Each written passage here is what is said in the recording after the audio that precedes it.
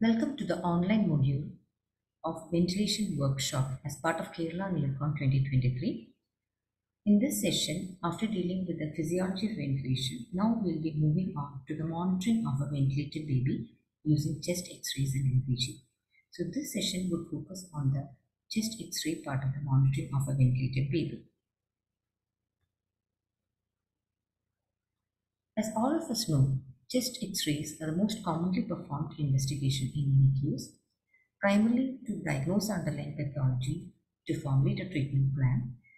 In case the baby is already ventilated and in case of worsening respiratory distress, and after we have ruled out the dope situation, predominantly the mechanical problems like tube obstruction, tube block, and we need to find out the cause for this respiratory distress worsening.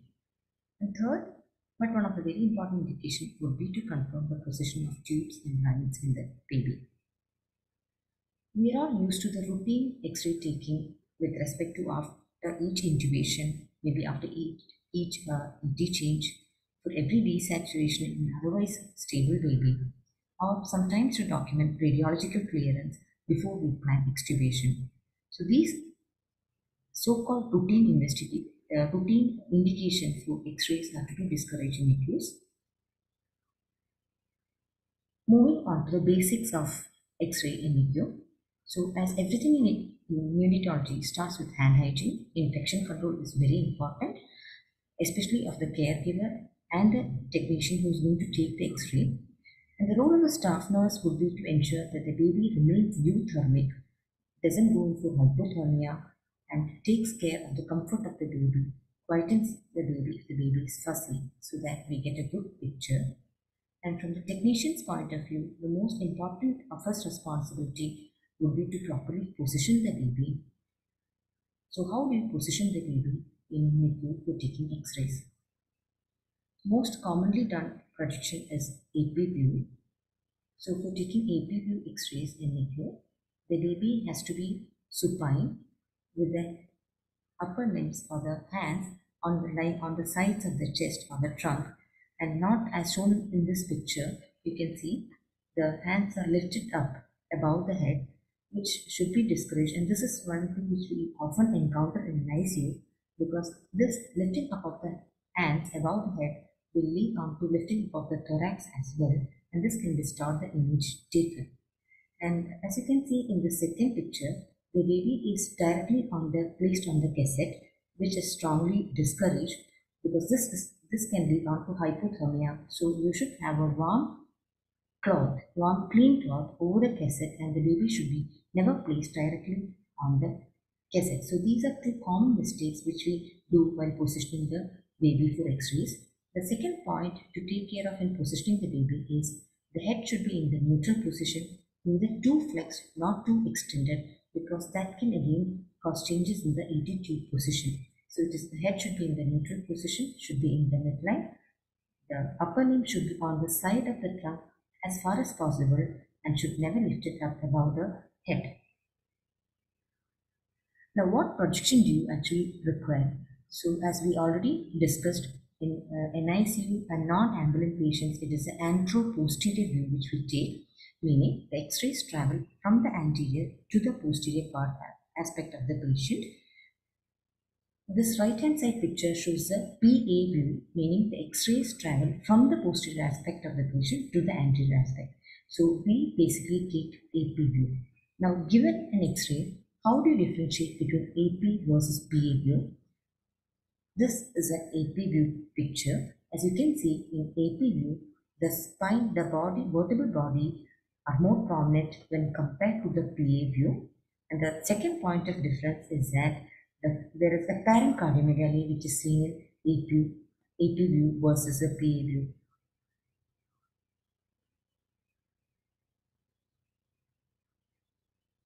Another point uh, I would like to emphasize, which we usually uh, don't stress upon in NICUs while taking X-ray, is that the X-ray beams should never be allowed to fall perpendicular, directly perpendicular to the baby.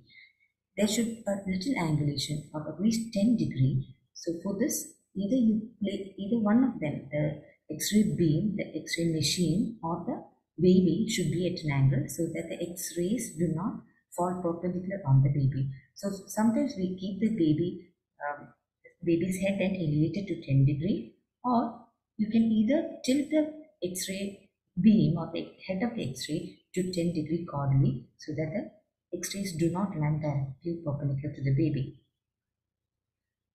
Having uh, talked about the AP view, we do, do infrequently perform lateral x-rays as well.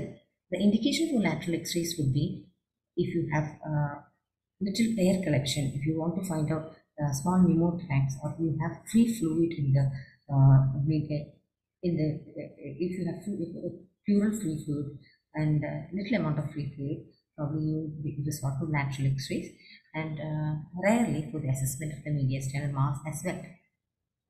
So that was a technical aspect of taking X-ray, the positioning of the baby for taking X-ray.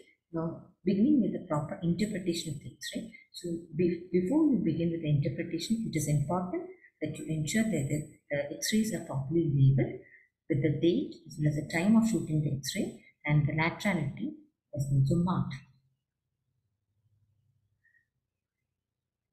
So, uh, for in interpretation of any lab result or any radiological investigation, you should be sure of the quality of the uh, investigations you are dealing with. So, in our case, it is X-ray. So, you should be sure of the quality of X-ray.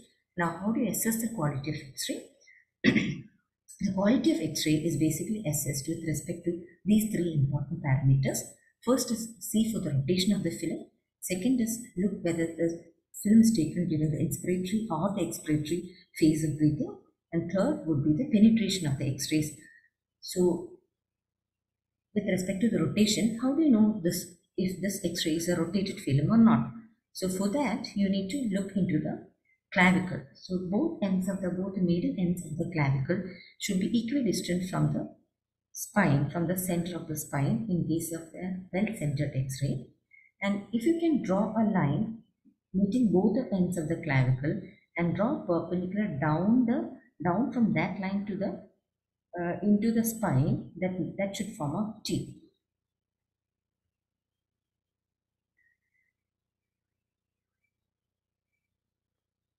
So this is a line which meets uh, both ends of the clavicle and if you can drop a perpendicular down from this line to the middle of the uh, spine this forms a T. And the other point uh, in case of a well-centered X-ray would be that both the hemithoraces would appear symmetrical. The ribs are almost parallel to each other. So in this case, it is a well-centered X-ray. It is not rotated. Whereas if you look into these X-rays, you see that if you look at the X-ray over the left, you see that the clavicles are not equidistant from the midline and you see the ribs are also one side the, rib, the there is asymmetry in the hemithorax and on one side the ribs are longer than the other side. So this is an X-ray which is rotated to the left. How do you know it is rotated to the left? One point of importance is that to whichever side, in whichever side the rib is longer, the X-ray will be rotated to that side. So when you look at this X-ray, uh, this again is a rotated X-ray, but it is rotated to the right because it is the right hemithorax, the right ribs are longer than the left and it is the clavicle, right clavicle is at a higher position than the left clavicle. So this is a crossly rotated film and the rotation is towards the right. So the second point in the quality of the X-ray is to look at the uh, phase of breathing. In which phase of breathing this X-ray was shot, whether it was in the inspiratory phase or the expiratory phase. It is very difficult to interpret the X-ray in the expiratory phase and never attempt to uh, interpret an X-ray in the expiratory phase. So, in case of in case the uh, X-ray was shot in the inspiratory phase, we should be able to see at least eight ribs posteriorly and six ribs anteriorly. So, in a well shot inspiratory film, we will be able to count at least eight ribs posteriorly and six ribs anteriorly. Now, how will you differentiate between posterior ribs and anterior ribs?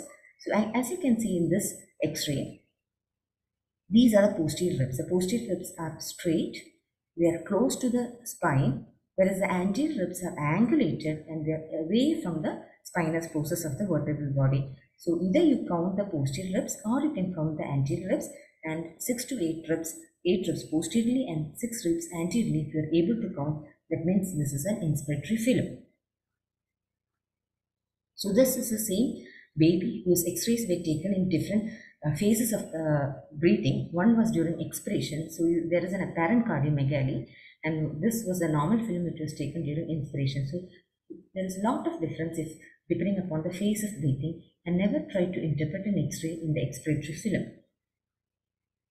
The penetration, as you can see, this is an underexposed film where the lungs are uh, quite wiped out. The vertebral body is it's not standing out, it's not very clear. Whereas on the other hand, this is an hyperexposed film or overexposed film where you can see the lungs are too much black in color. The vertebral bodies stand out and you're not able to distinguish the skin and the subcutaneous tissue here. So both of these pictures you don't want in your baby's x-ray. So that is uh, regarding the quality of the X-ray. So interpretation starts with assessing the quality of the X-ray. You assess the quality of the X-ray with respect to rotation, with respect to what phase of breathing the X-ray was taken. Uh, it is a good idea to get it in the inspiratory phase. And third would be assess the penetration of the X-ray. Now after you have assessed the quality of the film, now let us move on to the structured stepwise approach of uh, interpreting the X-rays. So they have put the synonym of A, B, C, D, E and F. So if you move about in this step, uh, you are not, you will not miss many things in the X-ray interpretation. So starting with the A part, A stands for airway, hilum, mediastinum and lungs. So airway, as you can see, the trachea and the tracheal bifurcation, depending upon the position of the airway, in the pathology can vary. For example, if there is a pathology, if there is a collapse on one side, the airway will be pulled to the same side and if there is a uh, pneumothorax or a pleural effusion on one side, the airway as well as the mediastinal structures can be pushed to the opposite side. This we'll be discussing more in detail in the uh, coming uh, slides. So um, not to forget uh, to have a look at the airway in the to begin with interpreting the chest x-ray. And next moving down to the hilum part, the hilum basically houses the pulmonary vasculature, the pulmonary lymphatics, and uh, in newborns, it is a pulmonary vasculature which becomes the hilar prominence as well as the pulmonary vasculature, which are more important interpretation. So in this X-ray which is seen on the left side, you can see that there is increased pulmonary vascular markings, which is almost reaching the periphery, and this is suggestive of increased pulmonary blood flow or pulmonary plethora. Whereas on the other hand, if you take this X-ray, the pulmonary vascular markings are not seen beyond the initial one-third or the medial one-third of the lung. So there is pulmonary oligemia. One important thing is, normally in an X-ray lung, you would be able to appreciate lung markings till the middle one-third of the lung. That is, you, if you suppose that you divide the lung into medial one-third, middle one-third and lateral one-third, normal vascular markings would reach up to the middle one-third in case of pulmonary oligemia, it would be limited to the medial one-third. In case of pulmonary plethora, it would be extending beyond the middle one-third, reaching the lateral one-third or the periphery of the lung. So this is a pulmonary plethora and this is this indicates pulmonary oligemic lung fields. So now moving down to the mediastinum after hilum, there is an important structure uh, housed in the mediastinum, especially in newborns, and that is the thymus. So it is important that you know the normal thymic shadows which you get to see in the x-rays. Otherwise, it might be misunderstood for some consolidation or other lung pathologies. So there are named signs uh, for the thymic shadows. This represents a sail and hence this is called the uh, sail sign. And here sometimes you get the thymic wave sign which is as you can see in this picture it is because of the uh, undulations which is formed by the inferior border of the thymus on the ribs. So these both uh, these signs are quite commonly seen in newborn X-rays. Uh, along with the presence of thymus and other thymic uh, radiological shadows, it is important that you look for the actual presence of thymus, whether there is hypoplasia, thymic hypoplasia or not.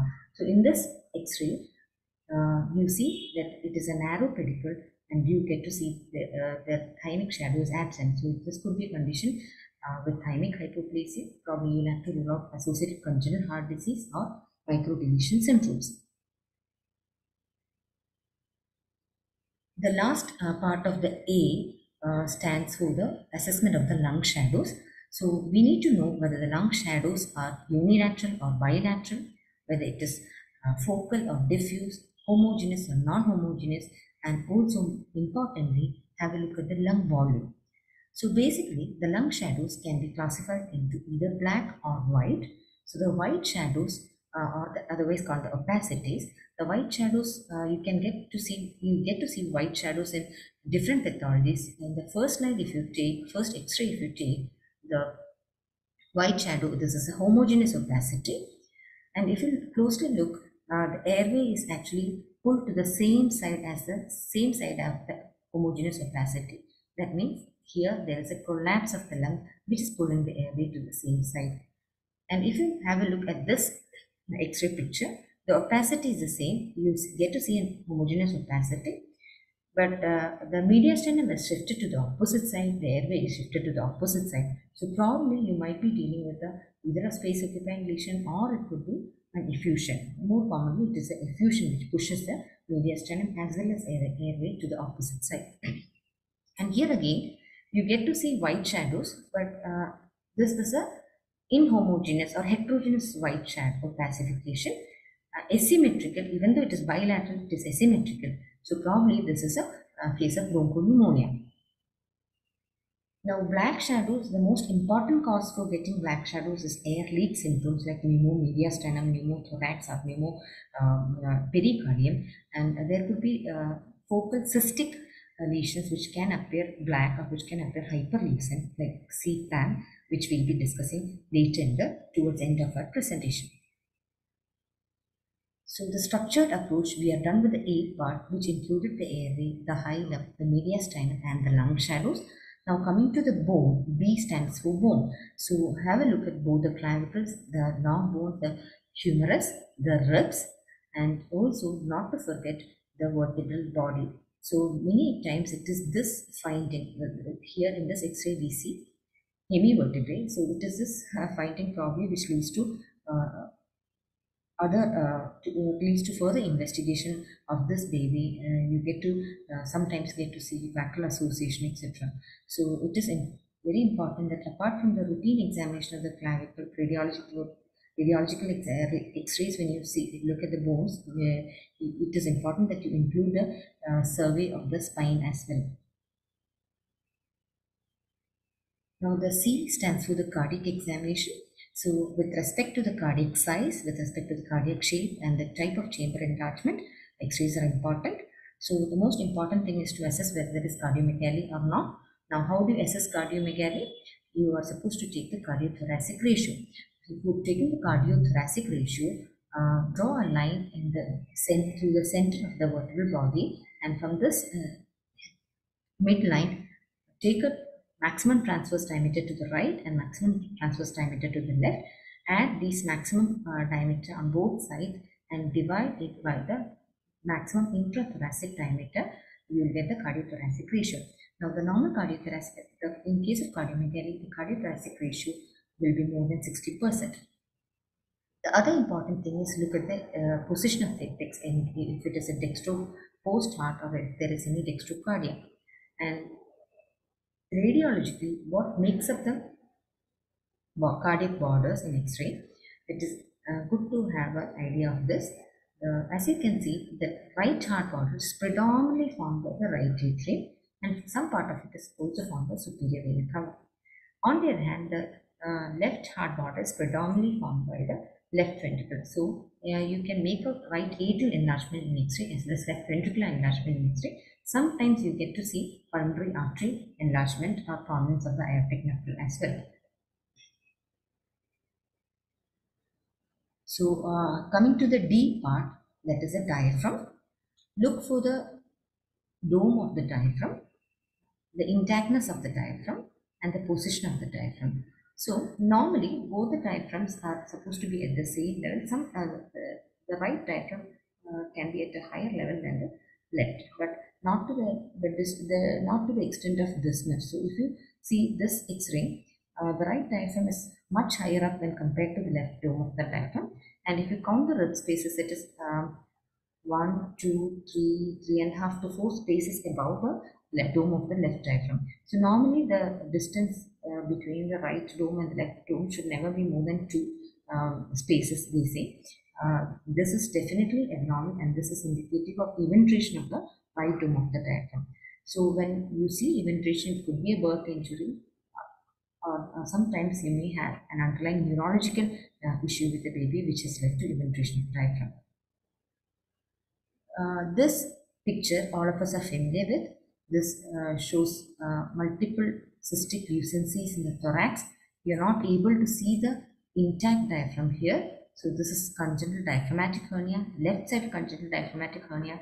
The entire mediastinum is shifted to the uh, right. If you take the case of this X-ray, this is a hyperinflated film as you can see. You are able to um, count at least 9 rib spaces and the dome of the diaphragm as you see is flattened out. It is not the, uh, the normal shape, it is uh, the dome is actually flattened out which indicates a hyperinflation. So if the baby is on res respiratory support and you see this X-ray, it is an indication to come down on the pressures. Uh, so uh, uh, we please do not stop with the examination of the diaphragm. Look a bit down and see for the uh, see if there is any air under the diaphragm because most often we tend to miss the air under diaphragm part when you rule out when you look for pathologies in the lung. So diaphragm includes examination of diaphragm or looking at the diaphragm includes the intactness of the diaphragm, the position of the dome or each dome of the diaphragm as well as any air under the diaphragm. now E stands for the extras. The extras includes the tubes and the lines. Sorry for that. So uh, the position of the endotracheal tube, the normal position is somewhere between the T1 to T2 vertebrae. And the lines, if you can see, the umbilical arterial line and the umbilical venous line. The umbilical venous line usually lies on to the right of the vertebral body. And uh, one point of difference between the umbilical arterial line and umbilical venous line is that UAC uh, after its insertion, it tends to loop down because it has to enter the external iliac artery and then join the aorta. So there is a looping take place, which take place uh, in the umbilical arterial line, and whereas the umbilical venous line they go straight. So where do you want your umbilical venous lines to be lodged? The ideal position is just above the level of the diaphragm at the point where the inferior vena cava reaches the uh, right atrium. And the UAC is supposed to be uh, the high line position of umbilical arterial line is better somewhere between T6 to T10. Uh, so if you count this UAC, this is the 12th rib, the 12th rib and hence this would be the T12, the 12th thoracic spine and you count upwards T12, T11, T10, T9, T8. So this uh, uh, arterial line is lying at the T8 level which is an okay position for a high line uh, umbilical arterial catheter.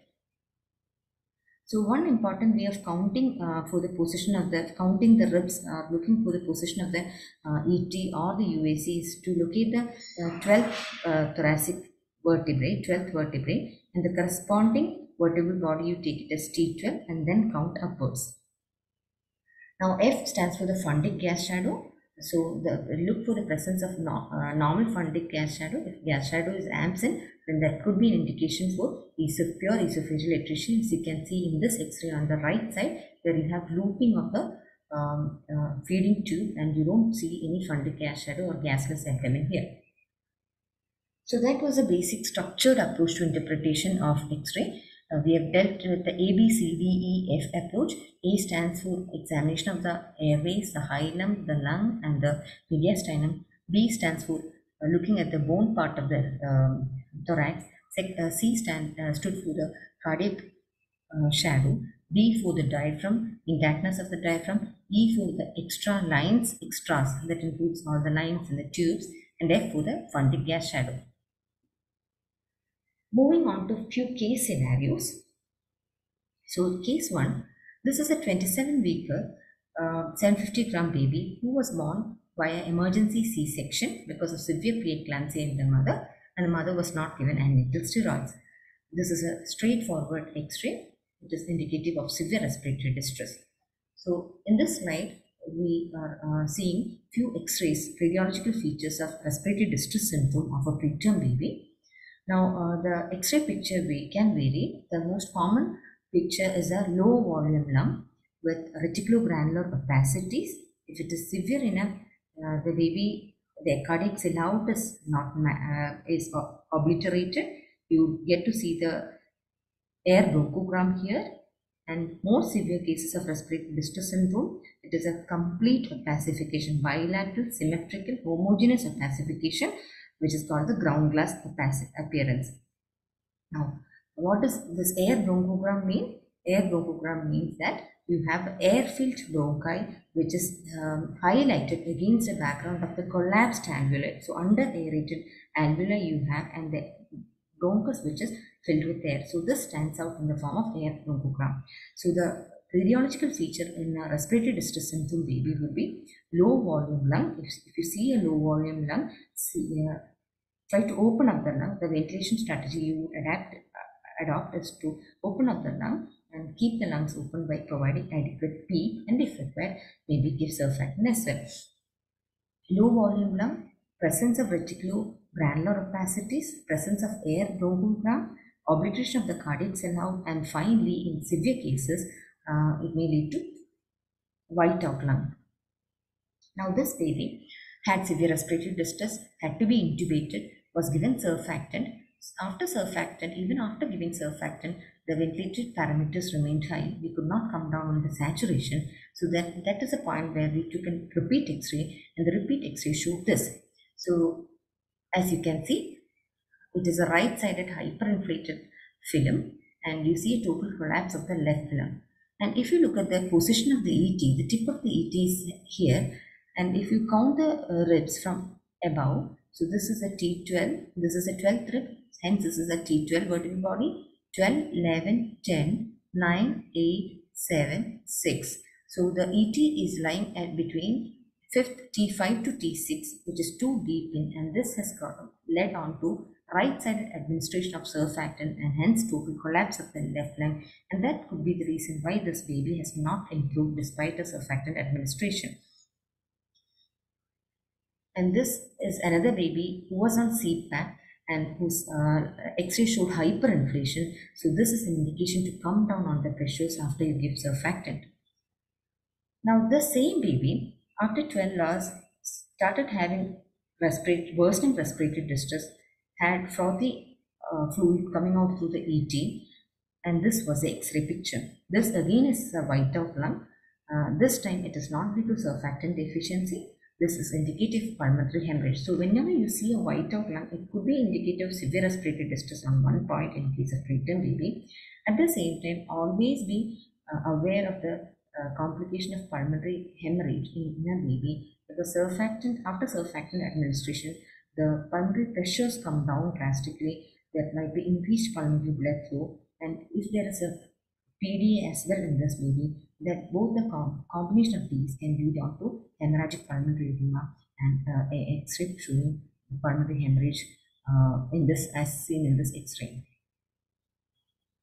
Now this is another case. This time this is a term baby who is an AG baby was um, uh, infant of diabetic mother born through an elective uh, C-section, had mild respiratory distress, Downes 2 to 3, and this is X-ray picture. So what do you see in this X-ray picture? You see streaky opacities radiating from the hilum and the perihilar areas, uh, uh, giving rise to what is called the sunburst appearance. And another point is here you see a little fluid in the transverse fissure. So this is a, a typical of transient tachypnea of newborn. Moving to the case 3, you have a term baby who's, uh, who was born through meconium stained amniotic fluid, was a vigorous baby, cried soon after birth, but developed respiratory distress um, after birth and had to be intubated. And this is a classical X-ray. You get to see meconium aspiration syndrome. Here you get to see uh, in meconium aspiration syndrome, the lungs are usually hyperinflated uh, you get inhomogeneous opacities, asymmetrical opacities with patchy areas of collapse and areas of um, hyperinflation in, uh, in the same X-ray. So, uh, if you're asked about the X-ray feature in meconium aspiration syndrome when compared to respiratory distress, in our case, the lung volumes are usually uh, on the lower side. In meconium aspiration syndrome, the lungs are hyperinflated. Uh, in RDS, usually the opacities are homogeneous and mostly symmetrical, whereas you get to see inhomogeneous, fluffy, nodular opacities in meconium aspiration syndrome, and they are usually asymmetrical, bilateral, and with areas of hyperinflation. And the same baby uh, did not show any sign of improvement even after ventilation. They required high venti parameters, and this was a repeat X-ray taken what do you see here? It is air leak. You see the air leak here with the uh, collapsed lung margin. But mediastinum is entirely shifted to the opposite side. The airway as well as mediastinum is shifted to the opposite side. So this is a case of tension pneumothorax. So intercostal uh, tube drain was put. However, the baby continued to worsen, uh, had a labile saturation and the repeat x-ray showed this picture. Uh, so here what you see is black lung, totally oligemic lung field because of the persistent pulmonary hypertension secondary to meconium aspiration in this baby. So these two x-rays are typical of the uh, commonly encountered complication in meconium aspiration syndrome, namely the air leak, the pneumothorax as well as a PPH which we will get to see. So this is a spectrum of radiological changes you get to see in pneumonia. Uh, it can vary from uh, inhomogeneous bilateral opacities which you get to see in viral pneumonias to homogeneous opacity involving a specific segment or specific lobe. This is a segmental consolidation and here also you again get to see uh, homogeneous opacity involving the upper lobe. So uh, pneumonia could be mostly in a ventilated baby if, there is radi new radiological changes taking place probably you are dealing with VAP or ventilator associated pneumonia. This again is a term baby who had no risk factors for sepsis, uh, who had severe respiratory distress, had to be ventilated. Uh, the worsening respiratory distress, and this is an X-ray picture. This is similar to a whiteout lung which we see in RDS and preterm babies, and uh, this is based because of the pulmonary venous hypertension in an obstructed TAPVC. The heart shadows are normal. There is no cardiomegaly, and there is uh, pulmonary venous hypertension, and you get this uh, type of whiteout lung in the x-rays. So this is a supracardiac TB. We see another baby. This you don't get to see in the newborn x-rays. The classical figure of eight which you see in older children. The uh, figure of eight, one limb of the figure of eight is by the dilated uh, superior vena cava and the other limb is by the abnormal aberrant vessel and you see the left ventricular enlargement and the right atrial enlargement here. So um, many times uh, there may not be a background for pneumonia, early onset sepsis, or meconium aspiration syndrome, and the baby might be having respiratory distress, needing ventilation, and you take the X-ray and you uh, get this picture. So in this picture, the what you see is cystic uh, lucencies, focal cystic lucencies involving the left lower lobe where and the mediastinum is shifted to the opposite side. The cardiac apex is shifted to the opposite side. So this could be a CCAM or CPAM or congenital pulmonary airway malformation which you are dealing with which has led to the uh, distress in the baby. And similar, another malformation is a congenital lobar emphysema more commonly seen on the uh, left upper lobe. You can see this, there is a hyperinflated left upper lobe which is almost jutting out and crossing the midline. So uh, in a well-centered picture. So um, we are supposed to interpret the X-ray only if it is uh, not propagated in a well-centered X-ray and the inspiratory film. So assuming this is an inspiratory film and properly positioned X-ray, if you see this kind of uh, focal hyperinflation, congenital lobar emphysema will have to be ruled out. These are various uh, pictures of air leak symptoms which you encounter the pulmonary interstitial emphysema, commonly in a preterm baby, uh, initial uh, days of life, where you can see th this is slightly different from the reticulogranular opacities which you get in the respiratory distress syndrome X-rays. So in case of PI, these radiolucencies streaky and um, uh, transverse streaky radiolucencies because it is air which actually leaks into the interstitium which causes this picture and uh, this is a pneumopericardium and it appears as if the heart is kept in a bag of air the heart is lifted up and is uh, surrounded by the hyperlucency Pneumomediastinum is something uh, which is commonly encountered and um, uh, the, uh, you can you see this kind of picture. You get the gas shadow in the mediastinum. So this is a picture of bronchopulmonary dysplasia in a growing preterm baby who is oxygen dependent. Uh, you have uh, old BPD and new BPD. Uh, you have to adjust your ventilation parameters based on the X-ray findings. So here you get to see uh, areas of uh, hyperlucency, cystic lucencies uh, with areas of atelectasis. So you will have to adopt a strategy which can suit uh, both of these areas of hyperinflation with prolapse and which uh, subsequently will be dealt in the uh, ventilation offline classes. So thank you for the patient hearing.